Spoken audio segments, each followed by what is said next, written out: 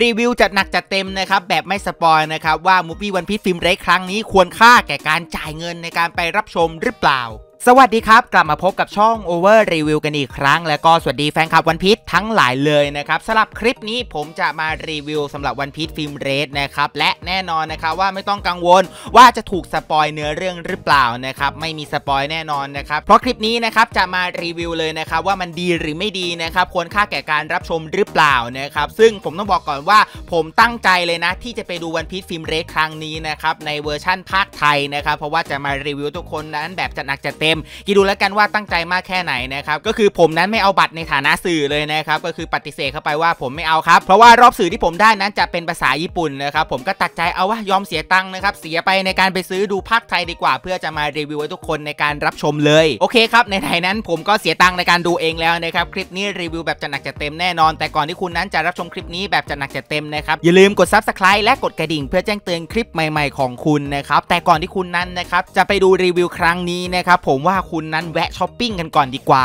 สายอนิเมะญี่ปุ่นห้ามพลาด หากคุณชอบการ์ตูน ไม่ว่าจะเป็น One Piece Naruto Dragon Ball Attack on Titan One Punch Man Jujutsu Kaisen หรือชอบน้องอาเนียอย่าง Spy Family หรือการ์ตูนโคตรเทพที่กำลังจะกลับมาอย่าง Hunter Hunter ในเมื่อคุณชอบตัวละครจากการ์ตูนเหล่านี้ และอยากจะเก็บของสะสมโมเดลฟิกเกอร์สวยๆของแท้จากการ์ตูนเหล่านี้ และช่วงนี้มีโปรโมชั่นลดสูงสุด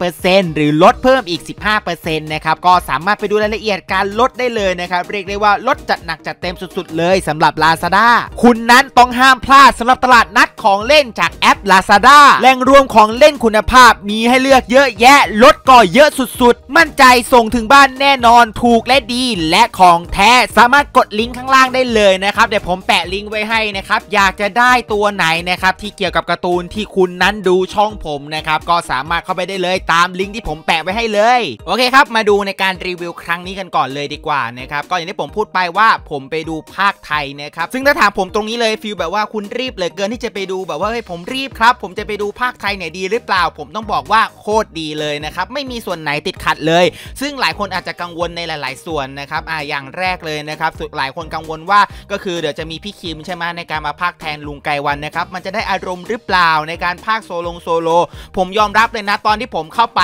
เนี่ยผมก็ฟังเสียงโซโลในตอนแรกผมลืมไปเลยนะว่าเสียงเดิมนั้นก็คือจะต้องเป็นเสียงของลุงไกวันนะครับคือผมดูไปสักพักนะครับดูถึงกลางเรื่องนะครับก็เพิ่งนึกได้แหละครับว่าเออนี่มันไม่ใช่เสียงลุงไกวันนี่หว่านี่ก็คือเสียงพี่คิม คือเพิ่งนึกขึ้นได้นะครับเท่ากับว่าจริง ๆ แล้วเนี่ยมันไม่ได้แตกต่างกันเลยนะ ระหว่างลุงไกวันนะครับกับพี่คิมในการพากย์นะครับคืออยากให้ผมอธิบายว่ามาเอาเคเสียงมันคนละเสียงกันแน่นอนนะครับคนละแบบในการพากย์นะครับแต่ มันไม่ได้รู้สึกติดขัดอะไรเลยนะครับกับงานพากย์โซโลในครั้งนี้ คือผมสามารถตอบได้เลยแหละครับว่างานพากย์โซโลครั้งนี้นะครับไม่ได้แตกต่างจากเดิมเลยนะครับหากคุณนั้นนะครับไม่ได้จับข้อสังเกตหรือว่าแบบว่าจับผิดอะไรเลย คือช่วงกลางเรื่องผมเพิ่งมานึกได้คิดดูละกันว่านะครับมันไม่ใช่งานภาคเดิมของคุณลุงไกวัน ส่วนถามว่าคนอื่นผมรู้หรือเปล่าว่าใครภาคจริง ๆ ผมไม่รู้เลยนะ อย่างเช่นนะครับเสียงของอุตาเนี่ยผมออกจากโรงมาผมก็เพิ่งมาทราบนะครับว่าจะเป็นแป้งซีบิงนะครับในการภาคเสียงของอุตานะครับซึ่งถามว่าภาคดีไหมผมบอกเลยว่าอยู่ในเกณฑ์ทดีเลยนะไม่ได้แย่เลยนะครับจะเรียกว่าเกณฑ์เยี่ยมเลยก็ว่าได้โอเค ถ้าจะไปเทียบกับมืออาชีพ ผมว่ายังไงผมก็ยังยกให้มืออาชีพนั้นมันต้องดีกว่า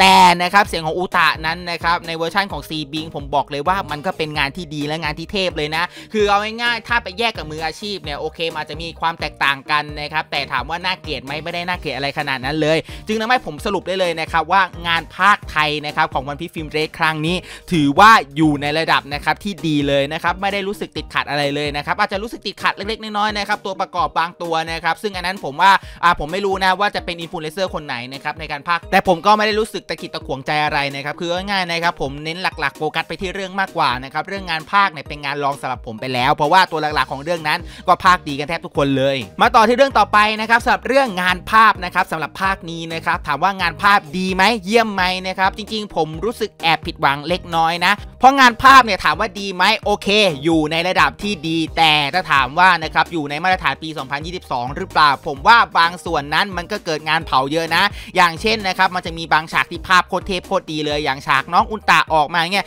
ภาพดีนะครับฉากเคลื่อนไหวอะไรของต่างๆ ของน้องอุตตะนั้นก็ดี แต่บางฉากนั้นนะครับก็เกิดงานเผานะครับหรือบางฉากนั้นนะครับสีของภาพเนี่ยผมว่ายังเกลี่ยไม่สวยมากเพียงพอ ก็เลยทำให้นะครับบางช่วงบางอารมณ์นั้นก็รู้สึกติดขัดนะครับก็เลยทำให้ผมยังไม่รู้สึกว่าโอเค ถึงขนาดที่ว่าอุ้ยเยี่ยมเลยสำหรับงานภาพ ก็สำหรับผมนั้นยังให้ระดับกลางๆนะครับแล้วก็งานเผาบางส่วนก็ผิดหวังนะครับแต่ถามว่าภาพรวมถามว่าภาพรวมดีไหมภาพรวมนั้นยังอยู่ในองค์ประกอบที่ดีอยู่นะครับมันจะมีแค่ตะขิดตะขวงบางส่วนเท่านั้น แต่โอเค ถ้าเป็นคนดูแบบผมนะ ถ้าตามสไตล์ผมนะครับผมก็ไม่ได้รู้สึกอะไรขนาดนั้น ก็ยังอยู่ในเกณฑ์ที่มาตรฐานอยู่นะครับเพียงแค่ว่าอาจจะดูล้าหลังไปหน่อยนะครับสำหรับปี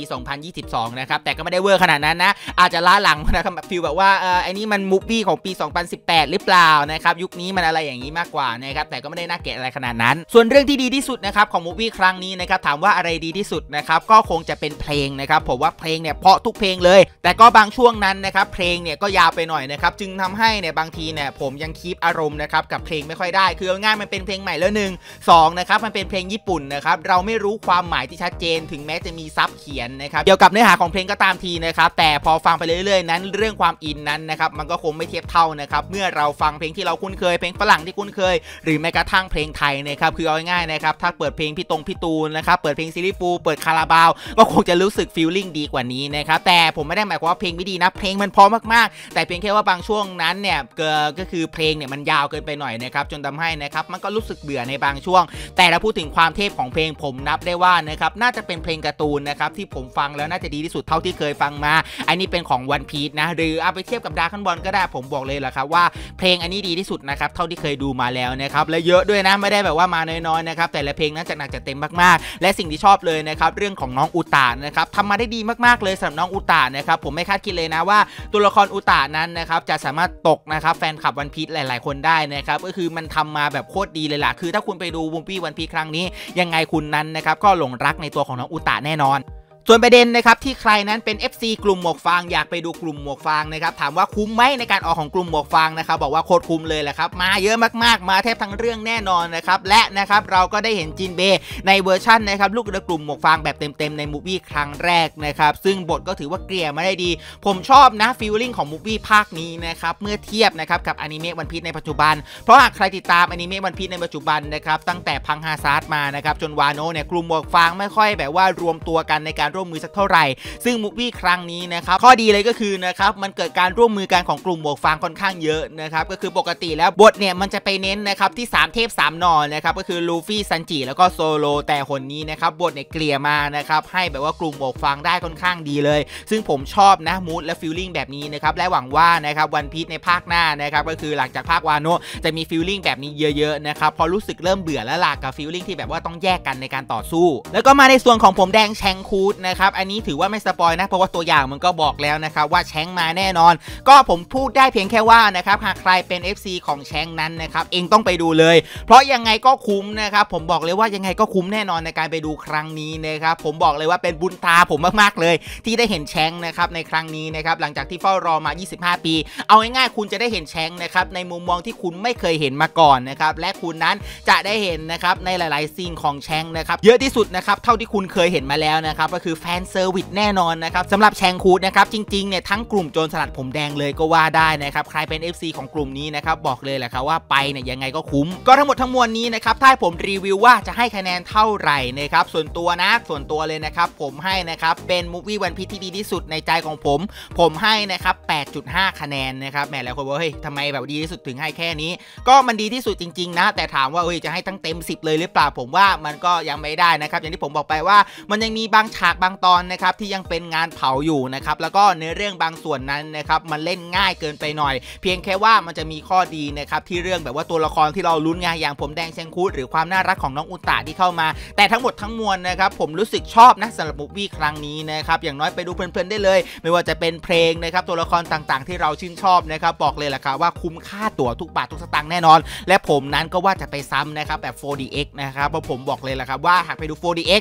หรือ 3D ก็ได้นะครับหรือลง IMAX เนี่ยบอกเลยแหละครับว่ามันเต็มนะครับเต็มอรรถรสแน่นอนนะครับในการรับชมก็ไปรอในการรับชมได้เลย และเดี๋ยวผมจะทำนะครับเป็นแบบว่ารีวิวนะครับในเวอร์ชัน spoil อีกแบบหนึ่งนะครับแต่ไม่ได้หมายความว่าจะมา spoil เนื้อเรื่องทั้งเรื่องนะ หมายถึงจะมาบอกแหละครับว่าช่วงต้นเรื่องกลางเรื่องหรือว่าท้ายเรื่องนั้นนะครับเป็นอย่างไรบ้างนะครับก็คือเดี๋ยวมันจะมีการเกริ่นถึงนะครับตัวละครตัวนั้นตัวนี้นะครับแค่นั้นนะแต่ไม่ได้แบบว่าจะมา spoil ว่าเออเนื้อเรื่องเป็นยังไง เดี๋ยวทุกคนไปอันนี้ไม่ใช่อย่างนั้นนะครับอันนี้รับประกันได้เลยนะครับอะเดี๋ยวทำอีกเวอร์ชันหนึ่งสำหรับพูดคุยกันนะครับสำหรับคนที่ดูไปแล้วนะครับ ก็ฝากไว้ด้วยแล้วกันนะครับ หากที่ชอบคลิปนี้อย่าลืมกด subscribe และกดกระดิ่ง เพื่อแจ้งเตือนคลิปใหม่ๆของคุณนะครับ แล้วก็ไปอุดหนุนนะครับซื้อสินค้าจาก Lazada ได้เลยนะครับ นานๆทีเนี่ยจะมีสปอนเซอร์เข้านะครับ ก็ฝากไว้ด้วยแล้วกันสำหรับวันนี้คงต้องขอตัวไปแล้ว ขอขอบพระคุณครับ